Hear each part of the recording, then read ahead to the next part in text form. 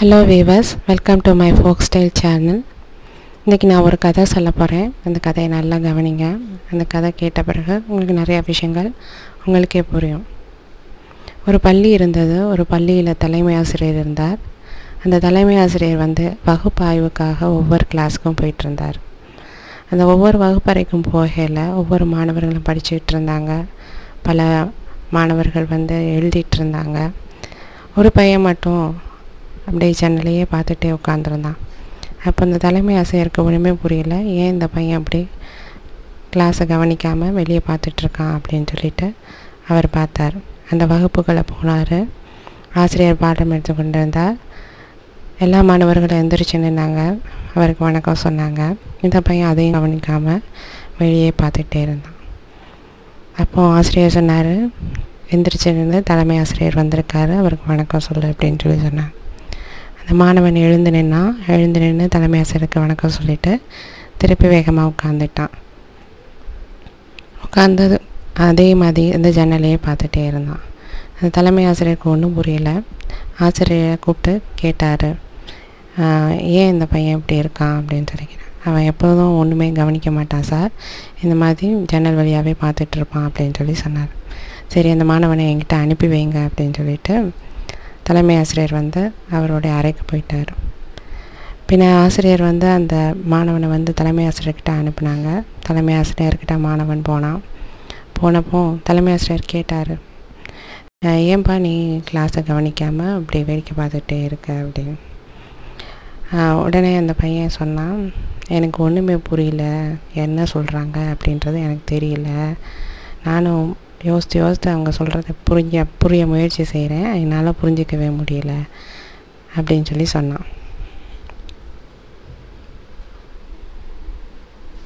அந்த மாணவன் ஏழாப்பு படிக்கிறான். அந்த மாணவனுக்கு ஒரு ரெண்டாம் வகுப்பு படிக்கிற பையனுக்குரிய ஒரு கேள்வியை கேட்டார் தலைமை ஆசிரியர். சரி நான் உன்ட்ட ஒரு கேள்வி கேட்குறேன் அந்த கேள்விக்கு நான் பதில் சொல்லு அப்படின்னு. அப்போது சரி கேளுங்க சார் அப்படின்னு சொல்லி அந்த பையன் கேட்டான். அப்போ குடும்பம் என்பது என்ன? வாட் இஸ் ஃபேமிலி அப்படின்னு சொல்லி கேட்டார். கேட்டோடனே அந்த மாணவன் சேர்ந்து சொன்னால் அம்மா அப்பா அண்ணன் தம்பி எல்லாரும் சேர்ந்து இருந்த ஒரு வீட்டில் இருக்கிறது சார் குடும்பம் அப்படின்னு சொல்லி சொன்னான் அப்படியாப்பா அப்படின்னு சொல்லி.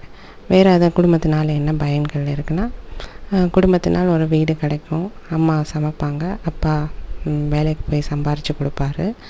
நம்மளுக்கு பாதுகாப்பான ஒரு இடம் அப்படின்னு சொல்லி சொல்கிறான் சொன்னோடனே இவ்வளோ நல்லா புரிஞ்சு வச்சுருக்கியப்பா. இந்த விஷயம் எல்லாமே உனக்கு தெரிஞ்சிருக்கே.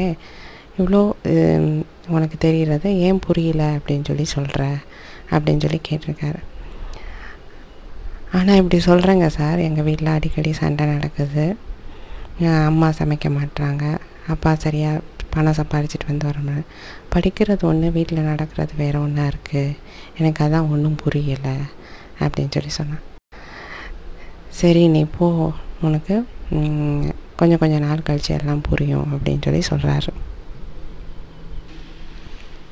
அந்த தலைமை ஆசிரியர் எல்லா வேலைகளையும் முடிச்சுட்டு வீட்டுக்கு வராரு. வீட்டுக்கு வந்து அதிக வேலை பழுனால ரொம்ப டயர்டாக இருக்கார்.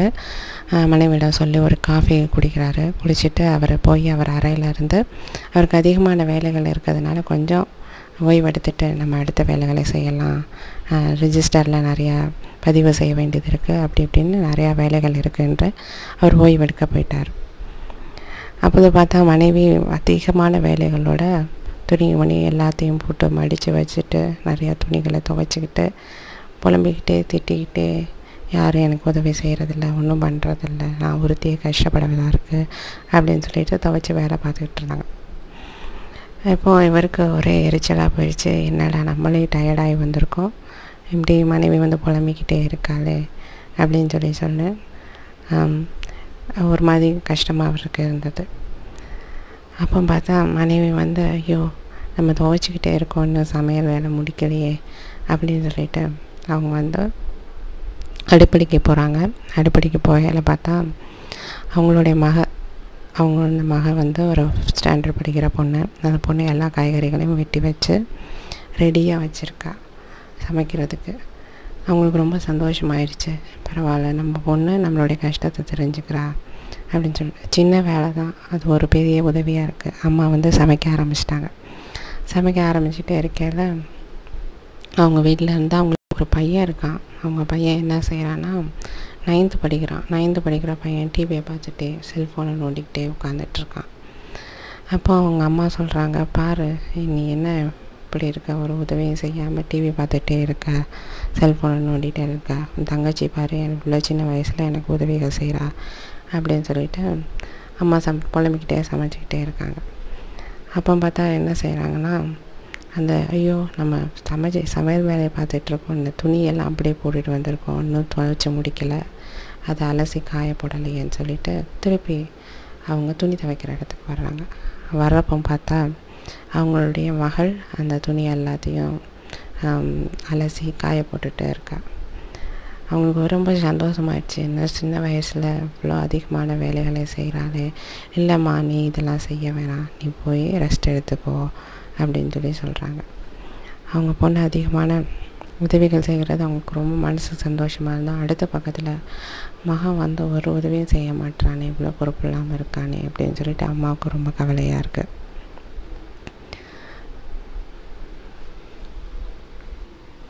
அப்படியே மகளும் அம்மாவும் துணியெல்லாம் காய போட்டுட்டு அவளை பற்றி பேசிகிட்டே இருக்கிறதுல அடுப்பில் வச்ச சமையலை வந்து அவங்க மறந்துட்டு வந்துட்டாங்க. ஐயோ அடுப்பில் எல்லாம் வச்சுருக்கேன் ஐயோ எல்லாம் அடி பிடிச்சிருக்குமே நான் அவ்வளோ நேரம் சமைச்சது வீணாக இருக்குமே வேகமாக அம்மா அடுப்படி கூட ஓடுறாங்க. அப்போ பார்த்தா அவங்க அப்பா வந்து அதெல்லாம் கிண்டி விட்டு அந்த சமையலை முடிக்கிறதுக்காக எல்லா உதவிகளும் செய்திருக்கார். அவங்களுக்கு ரொம்ப சந்தோஷம் பரவாயில்ல. பொண்ணு மட்டும்தான் நம்மளுக்கு உதவி செய்யுதுன்னு பார்த்தா நம்ம கணவனும் நம்மளுக்கு உதவி செய்கிறாங்களே அப்படின்னு சொல்லிட்டு அவங்க ரொம்ப சந்தோஷமாக இருக்காங்க. அடி ஒரு வழியாக எல்லா துணிமணியும் முடிஞ்சிருச்சு. அப்புறம் அவங்களுடைய சமையல் வேலையும் முடிஞ்சிருச்சு. இப்போ அம்மாவுடைய வேலை பளு ரொம்ப குறைஞ்சதுனால அம்மாவுக்கு ஒரே சந்தோஷம் பரவாயில்ல நம்ம பிள்ளைங்க நம்மளுக்கு உதவியாக இருக்காங்க அப்படின்னு. அப்பா ஐயோ நம்ம நம்மளுடைய வேலையை விட்டுட்டு நம்ம இதை வந்து செஞ்சுருக்கோமே நம்ம ரெஜிஸ்டர் ஒர்க்கெல்லாம் ஆகிருக்கு நமக்கு ரொம்ப தலை வேற வலிக்குது.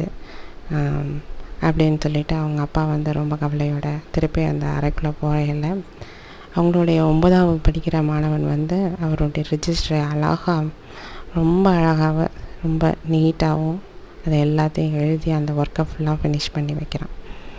ஃபினிஷ் பண்ணி வைக்கணுன்னு இந்த தலைமை ஆசிரியருக்கு ஒரே ஆச்சரியம். என்னடா நம்ம பையன் டிவி பார்த்துட்டு தான் இருந்தான் மொபைல் ஃபோனில் ஏதாவது நோண்டிட்டு தான் இருந்தான் ஆனால் பாரு இவ்வளோ அழகாக நீட்டாக எல்லாம் செஞ்சுருக்கான் அப்படின்னு சொல்லிட்டு அவங்க அப்பா அப்போ புரிஞ்சுக்கிறாரு.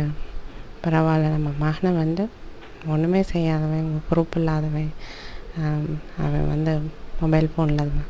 ஆனால் அந்த மாணவன் வந்து மொபைல் ஃபோனில் எவ்வளோ அழகாக எழுதுவதுன்னு கற்றுக்கிட்டான் அப்புறம் ரெஜிஸ்டர்லாம் எப்படி மெயின்டைன் பண்ணுறதுன்னு கற்றுக்கிட்டான் அந்த தான் கற்றுக்கிட்டதை தன் தகப்பனுக்கு உதவியாக இருக்கணும் அப்படின்னு சொல்லி செஞ்சிட்டான்.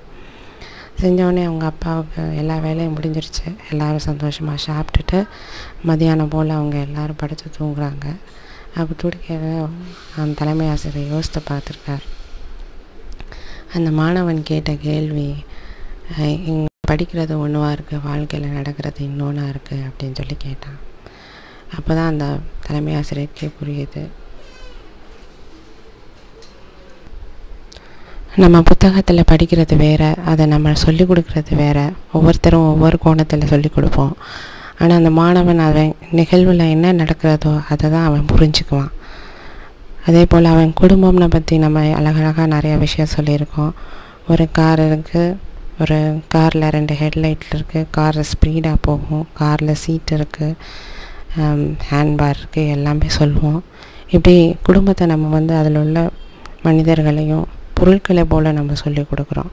அதனால் குடும்பன்றது அது ஒரு ஆப்ஜெக்ட் மாதிரி தான் அவங்களுக்கு தெரியுது ஒழிய அதுக்குள்ளே உள்ள உண்மையும் ஒருவருக்கு ஒருவர் விட்டு கொடுத்த ஒருத்தர் மேலே ஒருத்தர் வச்சுருக்க பாசமும் உதவிகளும் அது உண்மையான உண்மையான குடும்பங்களில் நடக்கிற உண்மையான ஒத்துழைப்பும் நிறையா பேருக்கு தெரியறதில்ல. அது வாழ்க்கை அனுபவத்தின் மூலமாக தான் தெரியும்.